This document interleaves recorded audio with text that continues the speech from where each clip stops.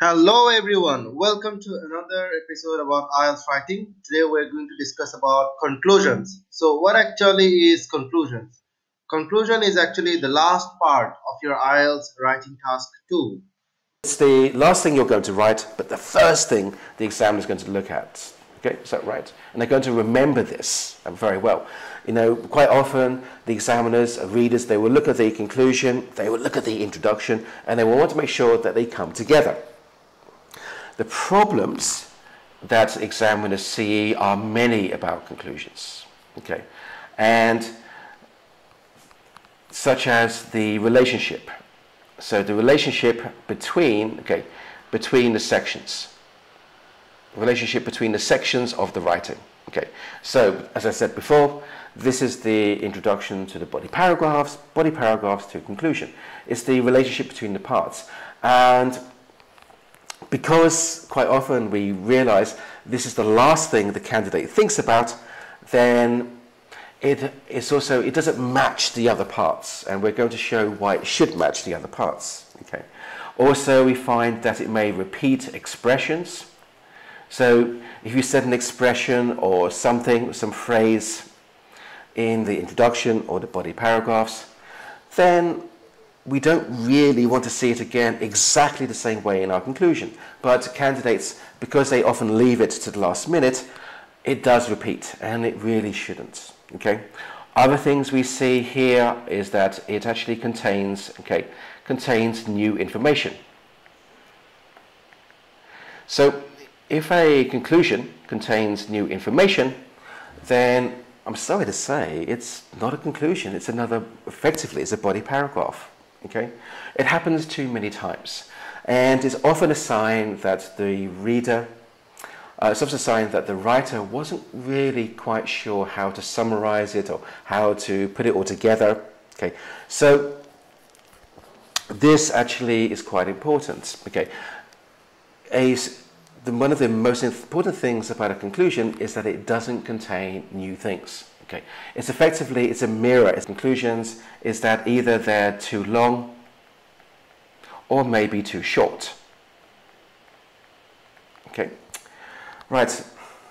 Remember that when you're writing the conclusion or you're writing the body paragraphs or you're writing an introduction, each part of that essay must have a particular reason to be there. Okay, so let's go for A first. Okay, let's change color because I want to have blue. Yep. Right, so we say here, to sum up, which is a nice way to finish. I believe that the influence of supportive and interested parents, children are more likely to achieve academic success. Well, that's true. But it's not a good conclusion because it only focuses Okay, um, let's say how to say it. Let's say so. So focuses only on one part. Focuses on let's say one part. Okay, it doesn't focus on the whole essay. So one part only. Okay, so this, so need to summarize all ideas. This conclusion it only summarizes one, and so we can't do this. This is not enough. Okay, it doesn't work. Okay, let's go on to B. It is clear that both parents and teachers have a huge impact on a child's learning. However, in my view, both supportive and help, both support, positive support and help from the family provide a more significant influence overall. Sentences. So I'll put a line in to actually divide up. Two sentences. Okay. So that's sentence number one and sentence number two. It's a good conclusion because sentence number one here, it actually, okay, it summarizes, summarizes, okay, the body paragraph ideas. And like with the evaluation essay we said before, it doesn't give any examples. Okay, no example should come in. It just summarizes the ideas again. So you take those ideas from the topic sentences. Sentence number two. It says, in my view, positive support and help from the family provide a more significant influence overall. Okay, so we have this expression, a more significant influence. So we're saying that Yes, it's parents and teachers, but family is more. So this is the thesis statement. But it's not exactly the same as what the thesis statement is. In this particular example, it's actually rephrased. And that matters, okay? And a good conclusion like this one should have two sentences, where the first sentence can summarize the body paragraph ideas. The second sentence goes back to the thesis statement, and if you remember, that comes from the introduction. So this one, let's give it a good green tick. This is right. So, so into onto C. We says so finally, as teachers are often specifically trained in a range of subjects, the help they give, the help they give their students is more appropriate and will likely lead to success. Well, it's a good point. Good point.